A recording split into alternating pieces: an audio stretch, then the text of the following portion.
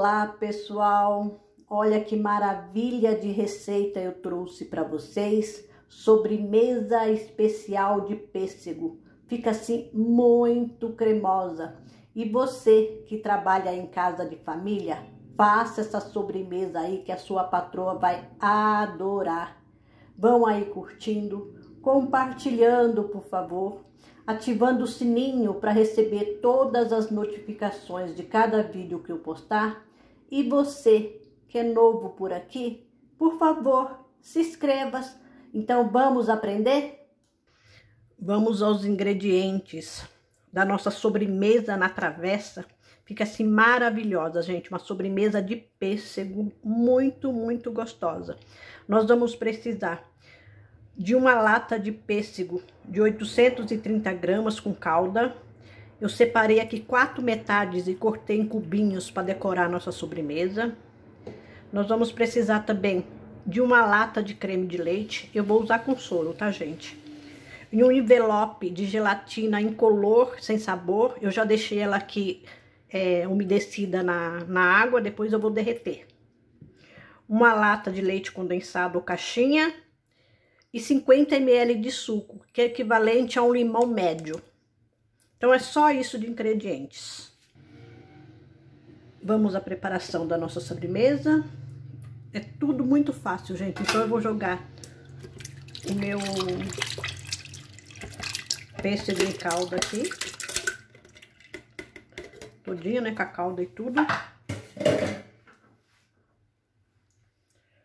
O leite condensado.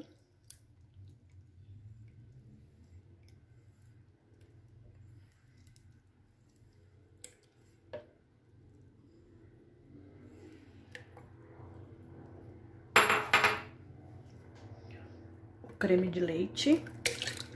Conforme eu falei pra vocês, eu vou colocar todo com soro, né? Pra ficar assim bem cremosa. Como vai gelatina, né? Agora eu vou bater isso aqui muito bem. Está bem batido. É até triturar todo o nosso pêssego. Agora eu vou adicionar os 50 ml de suco do limão e o envelopinho de, de gelatina que eu dissolvi no micro-ondas por 30 segundos. Agora é só bater novamente.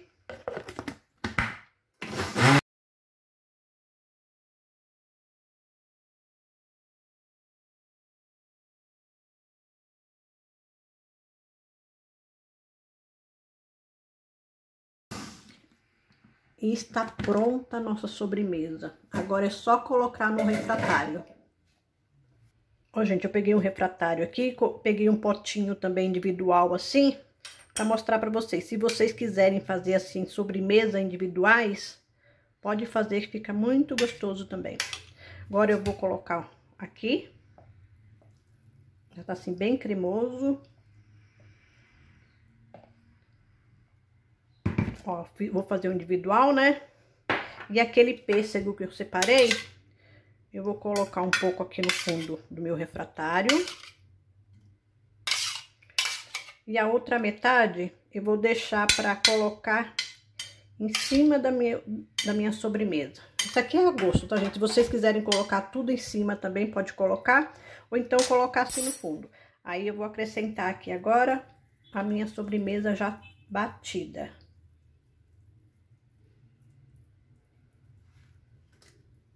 Depois eu passo a medida desse refratário aqui.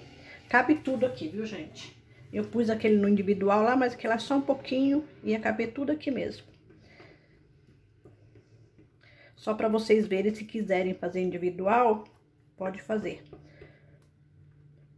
Agora eu vou levar na geladeira por umas duas horas, ou então ela até ficar durinha.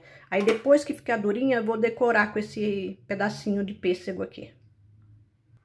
A nossa sobremesa já gelou.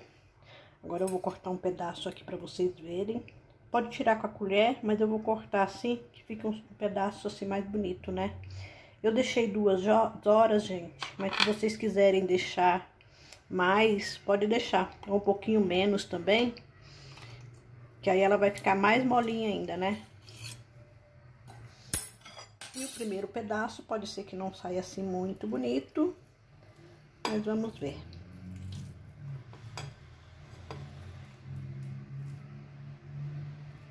Ó, até que saiu, viu? Fica assim bem cremoso. Olhem. Gente, fica assim divino. Se vocês chegaram até aqui comigo, por favor, vão aí curtindo, compartilhando, se inscrevendo. Faça essa receita aqui que o pessoal vai amar. Hum. O difícil é comer só um pedacinho, né?